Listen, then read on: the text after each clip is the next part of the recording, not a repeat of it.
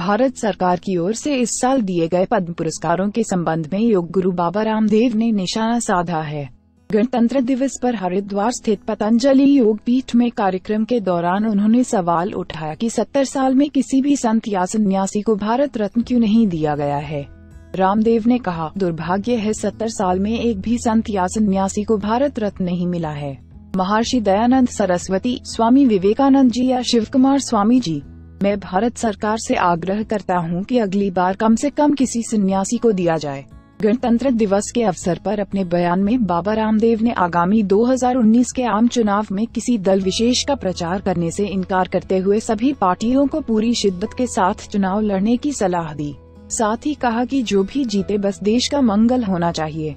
बता दें कि इससे पहले बढ़ती जनसंख्या को देखते हुए रामदेव ने कहा था, देश की आज़ादी को नियंत्रित करने के लिए ऐसे लोगों को मताधिकार, सरकारी नौकरी और सरकारी मेडिकल सुविधा नहीं दी जानी चाहिए जिनके दो से अधिक बच्चे हों, चाहे वे हिंदू हो या मुसलमान। इसके बाद ही जनसंख्या पर अंकुश लगाया जा सकेगा। इसके साथ ही योग गुरु रामदेव ने कहा, ऐसे लोगों को चुनाव नहीं लड़ने देना चाहिए। सरकारी स्कूलों में दाखिला नहीं देना चाहिए।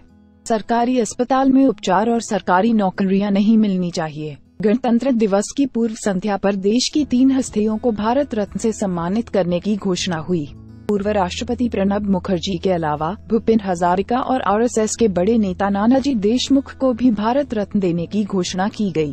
भारत रत्न के इतिहास में नानाजी देशमुख दूसरे स्वयं सेवक हैं जिन्हें भारत रत्न दिया गया है। 27 फरवरी 2010 को तिरानवे साल की उम्र में नानाजी देशमुख का निधन हो गया था। इससे पहले उन्हें पद्म विभूषण से सम्मानित किया जा चुका है। सभी जानते हैं कि संघ का विचार हिंदू राष्ट्रवाद पर आधारित था। लेकिन नानाजी देशमुख ने संघ और देश को एक नया विचार, मैं अपने लिए नहीं, अपनों के लिए हूँ, दिया। नानाजी ने अपनी कर्म भूमि भगवान राम की तपोभूमि चित्रकूट को बनाया। नानाजी का मानना था कि जब अपने वनवास काल के प्रवास के दौरान भगवान राम चित्रकूट में आदिवासियों तथा दलितों के उत्थान का कार्य कर सकते हैं तो वे क्यों नहीं? अतः नानाजी चित्रकूट में ही जब पहली बार उन्नीस सौ नवासी में आए तो यहीं बस गए। अगर आपको यह वीडियो पसंद आया हो तो लाइक, शेयर, कमेंट और हाँ सब्सक्राइब करना न भूलें।